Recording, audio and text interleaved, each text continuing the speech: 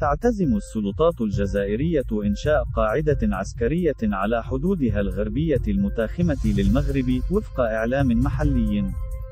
جاء ذلك وفق ما نقلته وسائل إعلام محلية بينها صحيفة الشروق وموقع كل شيء عن الجزائر الأربعاء. عن مصادر موثوقة لم تسميها بينما لم يصدر تأكيد رسمي بشأنها تأتي الخطوة عقب نحو شهر من إعلان مماثل للسلطات المغربية عن اعتزام إنشاء قاعدة عسكرية على حدودها الشرقية المتاخمة للجزائر. ووفق الوسيطتين الإعلاميتين فإن السلطات الجزائرية تعتبر خطوة الرباط ببناء قاعدة عسكرية قرب المنطقة الحدودية مشروعا يستهدف بلادها.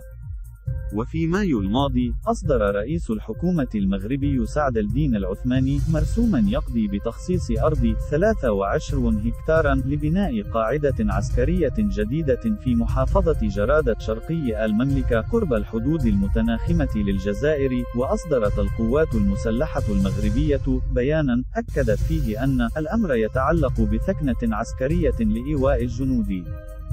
ليست لها مواصفات القاعدة العسكرية، وأوضح البيان آنذاك أن هذا المشروع يأتي في إطار نقل الثكنات العسكرية إلى خارج المدن.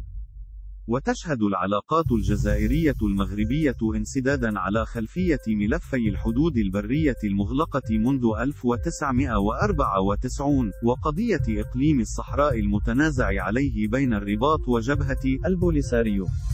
شكرا على مشاهدتك بالمروك سنسعد باشتراكك في القناة وأيضا بإعجابك. وبتعليقاتك سواء كانت سلبية أو إيجابية.